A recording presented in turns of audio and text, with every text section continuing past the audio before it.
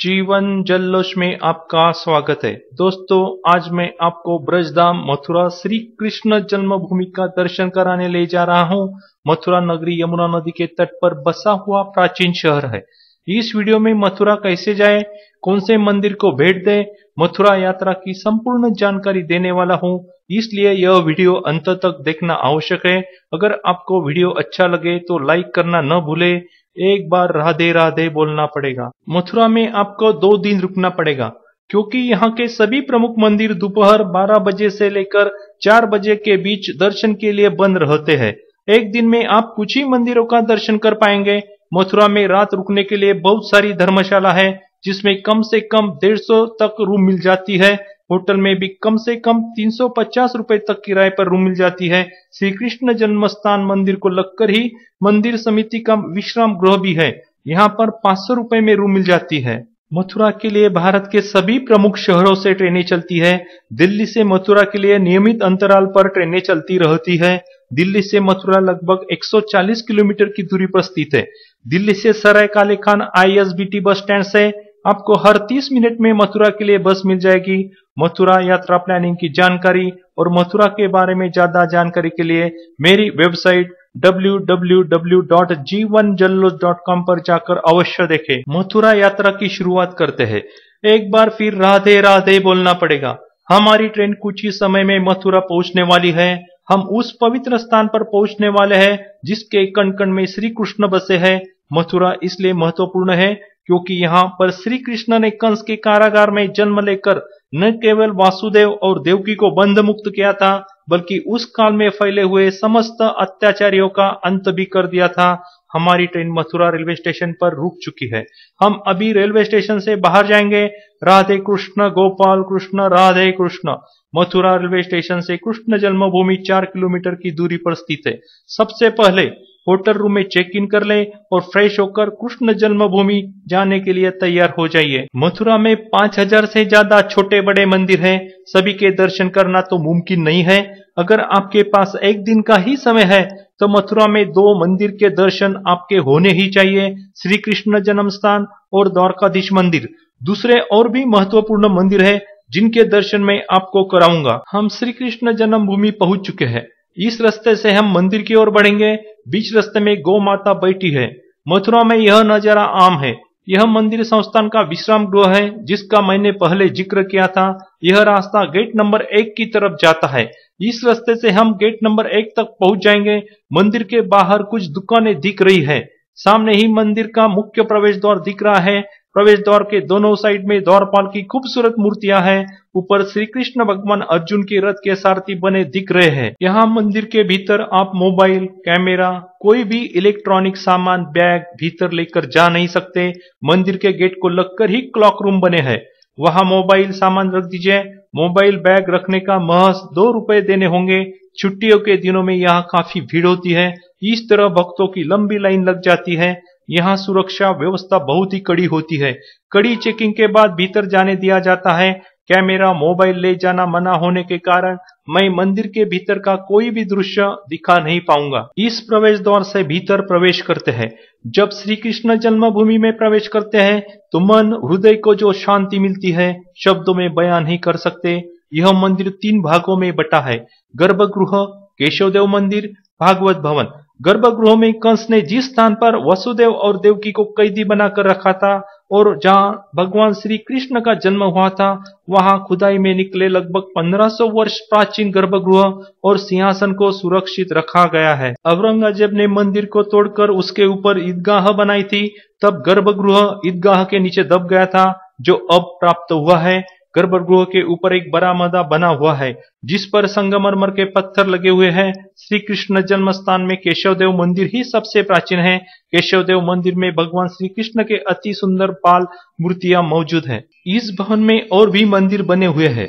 जैसे जगन्नाथ मंदिर जिसमें श्री जगन्नाथ सुभद्रा और बलराम जी की मूर्तियाँ हैं, श्री सीताराम लक्ष्मण जी का मंदिर, महादेव बाबा मंदिर, हनुमान जी का मंदिर, शेरावाली माता का मंदिर, यहाँ के खंभों पर भगवान श्री कृष्ण की अनेकों लीला बनी हुई है और मंदिर की छत पर भगवान श्री कृष्ण की रास लीला और अनेक लीलाओं के बहुत सुंदर चित्र बने हुए हैं, जो आने वाले भक्तों का मन हर लेते हैं। मंदिर की परिक्रमा में ताम्र पत्र पर संपूर्ण श्री भगवत गीता लिखी हुई है। मंदिर को लगकर ही मस्जिद आज भी खड़ी है। इस जगह होली खेली जाती है। मथुरा की होली का उत्सव देखने लायक होता है। इस गेट नंबर तीन से हम मंदिर के बाहर आएँगे। एक बार फिर राधे राधे बोलना पड़ेगा। श्री कृष्ण जन्मभूमि मंदिर से हम पोतरा कुंड जाएँगे। जन्मभूमि मंदिर से पाँच मिनट की दूरी पर ही पोतरा कुंड है। यह कुंड कंस के विशाल कारागार के भीतर था। कहा जाता है? श्री वासुदेव और देव की यहाँ स्नान किया करते थे। श्री कृष्ण के जन्म के बाद उनके कपड़े देव की माता ने यहाँ धोए थे। मथुरा में एक मंदिर से दूसरे मंदिर जाने के लिए तंग गलियों से गुजर कर जाना पड़ता है। या तो आप पैदल जाइए, या साइकिल रिक्शा, या बैटरी ऑटो जिसे यहाँ टमटम कहते हैं, उससे जाइए। पोतरा कुंड से हम गर्तेश्वर महादेव मंदिर जाएँगे। यह मंदिर श्री कृष्ण जन्मभूमि के पीछे मल्लपुरा में स्थित है। यह मथुरा का प्राचीन मंदिर है। गर्तेश्वर महादेव को पूर्वी सीमा का क्षेत्रपाल माना जाता है। गर्तेश्वर महादेव का दर्शन कर लें। गर्तेश्वर महादेव से हम भूतेश्वर महादेव मंदिर जाएँगे। गतेश्वर मंदिर से भूतेश्वर महादेव मंदिर आधे किलोमीटर की दूरी पर मथुरा के भूतेश्वर चौराहे पर स्थित है। श्री भूतेश्वर महादेव मंदिर में महादेव जी का अति प्राचीन महादेव लिंग स्थापित है। सामने ही भूतेश्वर मंदिर दिख रहा है। नंदी भगवान को स्पर्श कर गर्भगृह की तरफ़ बढ़ते हैं। सामने ही महादेव विराजमान है। दर्शन कर लेते हैं। श्री भूतेश्वर महादेव से हम मथुरा के गवर्नमेंट म्यूज़ियम जाएँगे। भूतेश्वर से म्यूज़ियम दो किलोमीटर की दूरी पर स्थित है। मथुरा म्यूज़ियम का समय सुबह साढ़े दस बजे से दोपहर साढ़े चार बजे तक रहता है। सोमवार के दिन म्यूज़ियम बंद रहता है। यहाँ एंट्री का टिकट पाँच रुपए और कैमरा मोबाइल अंदर ले जाना है तो बीस रुपए ज़्यादा देने होते हैं। मथुरा के राजकीय संग्रहालय से मथुरा के इतिहास की अधिक जानकारी ली जा सकती है। मथुरा संग्रहालय मथुरा की अनूठी कलाकृतियों में से कुछ को उजागर करता है। राजकीय संग्रहालय में विभिन्न कलाकृतियों के अलावा कुशाण सोना, तांबा और चांदी के सिक्के, मिट्टी मॉडल, प्राचीन बर्तन और चित्रों का संग्रह दर्शाया गया है। गवर्नमेंट म्यूज़ियम से हम होली गेट जाएँगे। गवर्नमेंट म्यूज़ियम से 400 मीटर की दूरी पर होली गेट स्थित है। दोस्तों, पहले के किसी भी वीडियो में मैंने खाने पीने के बारे में ज़िक्र नहीं किया, लेकिन मथुरा में यह ना इंसाफी मैं कर नहीं सकता। होली गेट पर मिठाई की फ़ेमस दुकानें हैं। बीजवासी मिठाई का पेड़े बहुत ही मशहूर है। होली गेट पर कचौरी, लस्सी, जलेबी सब कुछ मिल जाएगा। इन चीज़ों का स्वाद आपने नहीं किया। तो समझो हमारी मथुरा की यात्रा अधूरी रह गई। होली गेट से हम द्वारकाधीश मंदिर जाएँगे। होली गेट से द्वारकाधीश मंदिर करीब दो किलोमीटर की दूरी पर स्थित है। सी द्वारकाधीश मंदिर मथुरा नगरी के बीचों बीच यमुना नदी के किनारे पर स्थित है। इस तंग रस्ते से आगे जाने पर द्वारकाधीश मंदिर लगेगा। हम द्वारकाधीश मंदिर पहुँच चुके हैं। बाहर से पता नहीं चलता कि यहाँ मंदिर है। द्वारकाधीश मंदिर सुबह साढ़े छह बजे खुलता है और सुबह साढ़े दस बजे बंद हो जाता है। दोपहर साढ़े तीन बजे खुलता है और सात बजे दर्शन के लिए बंद हो जाता है। इस बात का खास ध्यान रखना होगा। इस प्रवेश द्वार से मंदिर के भीतर जाना होगा। कुछ सीढ़ियाँ चढ़कर ऊपर जाएँगे। सामने ही बड़ा हॉल बना है। श्री द्वारकाधीश मंदिर की सुंदरता देखते ही बनती है। एक बार मंदिर देख लेने पर मंदिर से नज़र ही नहीं हटती। ऊपर गर्भगृह की तरफ़ जाएँगे। ऊपर चढ़ते ही भगवान श्री राजाधिराज द्वारकाधीश जी महाराज के दर्शन होते हैं, जिनके दर्शन करते ही मन में अपने आप भक्ति जागने लगती है। श्री द्वारकाधीश जी के बाएँ में श्री रुक्मिणी जी विराजमान है। श्री राजाधिराज के पास लड्डू गोपाल और श्री राधा कृष्ण के अन्य मूर्तियाँ विराजमान है। श्री द्वारकाधीश मंदिर में श्री भगवान श्री कृष्ण के और भी मंदिर है। मंदिर में भगवान श्री सलेगी राम और श्री गरीराज महाराज के मंदिर भी है। द्वारकाधीश मंदिर से हम विश्राम घाट जाएँगे। द्वारकाधीश मंदिर से विश्राम घाट 30 मीटर की दूरी पर स्थित है। वहाँ हम पैदल चलकर जाएँगे। श्री मथुरा जी में कुल 25 घाट है, जिनमें से श्री विश्राम घाट प्रमुख घाट है।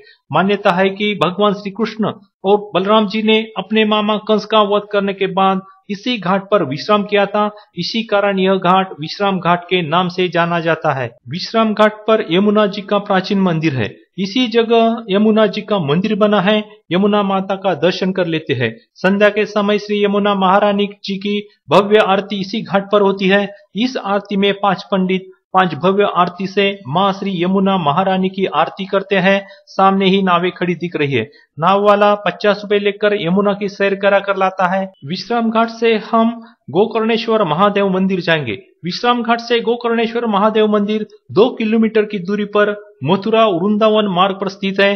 अभी हम वहाँ जाएँगे। गोकर्णेश्वर महादेव मंदिर एक टीले पर बना है। गोकर्णेश्वर महादेव मंदिर इतना प्राचीन मंदिर माना जाता है कि इसे कृष्णकालीन बताया जाता है। इस मंदिर में विराजित शिव की मूर्ति महाकाल का रूप बताई जाती है। गाय के कान से जन्म लेने के कारण यह गोकर्ण नाथ कहलाता है। गोकर्णेश्वर मंदिर से हम माँ गायत्री तपोभूमि जाएँगे। गायत्री तपोभूमि गोकर्णेश्वर मंदिर से 200 मीटर की दूरी पर स्थित है। मथुरा वृंदावन मार्ग पर महर्षि दुर्वासा की तपस्थली पर स्थापित किया गया है। वेद मूर्ति पंडित श्री राम आचार्य ने वेद माता देव माता विश्व माता गायत्री की स्थापना एवं प्राण प्रतिष्ठा की थी और उन्होंने 24-24 लाख गायत्री मंत्र जप के 24 महापुराण संपन्न किए थे। 24 दिन सिर्फ़ गंगा जल लेकर उपासना की थी। गायत्री तपोभूमि से हम चामुंडा देवी मंदिर जाएँगे। गायत्री मंदिर से चामुंडा देवी मंदिर 300 मीटर की दूरी पर स्थित है। इक्यावन शक्तिपीठ में से एक शक्तिपीठ है, जहाँ माता सती के केश गिरे थे। चामुंडा देवी का मंदिर मथुरा वृंदावन मार्ग पर स्थित माँ गायत्री तपोभूमि के सामने बना हुआ है। बताते हैं कि सतयुग के इस मंदिर में श्री कृष्ण ने कालिया नाग को मुक्ति देने के बाद माँ चामुंडा देवी के दर्शन किए थे। चामुंडा देवी मंदिर से हम गीता मंदिर जाएँगे। गीता मंदिर चामुंडा देवी मंदिर से डेढ़ किलोमीटर की दूरी पर स्थित है। गीता मंदिर को बिरला मंदिर के नाम से भी जाना जाता है। गीता मंदिर में गीता के सभी अध्याय को एक लठे पर अंकित किया गया है। इस मंदिर का निर्माण से जुगल किशोर बिरला ने कराया था। मंदिर का निर्माण यह वातावरण बहुत ही मनमोहक है। इस मंदिर के खूबसूरत नक्काशी और चित्रकला मंदिर की सुंदरता को और बढ़ाते हैं। इसमें चक्रधारी श्री कृष्ण की विशाल प्रतिमा प्रतिष्ठित है। देवालय के उत्तर में लाल पत्थर का एक स्तंभ है, जिस पर संपूर्ण गीता उत्कीर्ण की गई है। मंदिर का परिसर रमणीय उद्यान से आच्छादित है। एक और दर्शनीय स्थल बचा है, बाबा जय गुरुदेव आश्रम। श्री कृष्ण जन्मभूमि से जय गुरुदेव आश्रम पाँच किलोमीटर की दूरी पर आगरा दिल्ली राजमार्ग पर स्थित है। अगर आपके पास और समय बचता है तो इस आश्रम में ज़रूर जाइएगा। जय गुरुदेव आश्रम की लगभग डेढ़ सौ एकड़ भूमि पर संत बाबा जय गुरुदेव की एक अलग ही दुनिया बसी हुई है। यह समूचे ब्रज का सबसे ऊँचा व अनोखा मंदिर माना जाता है। यह मंदिर देखने से ताजमहल जैसा प्रतीत होता है, जिसकी डिज़ाइन में मंदिर मस्जिद का मिला जुला रूप दिखाई देता है। अगर आपका आगरे का ताजमहल देखने का प्लानिंग है तो आप मथुरा से आगरा भी जा सकते हैं। मथुरा से आगरा 50 किलोमीटर की दूरी पर स्थित है। आगरा का वीडियो मैंने पहले ही बना दिया है। आगरा वीडियो की लिंक मैंने डिस्क्रिप्शन में दे रखी है। मथुरा यात्रा प्लानिंग और मथुरा के अधिक जानकारी के लिए मेरी वेबसाइट पर जाकर अवश्य देखें। दोस्तों, यहाँ हमारी मथुरा की यात्रा की समाप्ति होती है। अगले वीडियो में मथुरा से वृंदावन यात्रा की जानकारी देने वाला हूँ। वृंदावन यात्रा के वीडियो के लिए कुछ दिन और इंतज़ार करना पड़ेगा। आपने अभी तक चैनल को सब्सक्राइब नहीं किया तो अवश्य सब्सक्राइब करें। वीडियो अच्छा लगा तो अवश्य लाइक करें, कमेंट ज़रूर करें।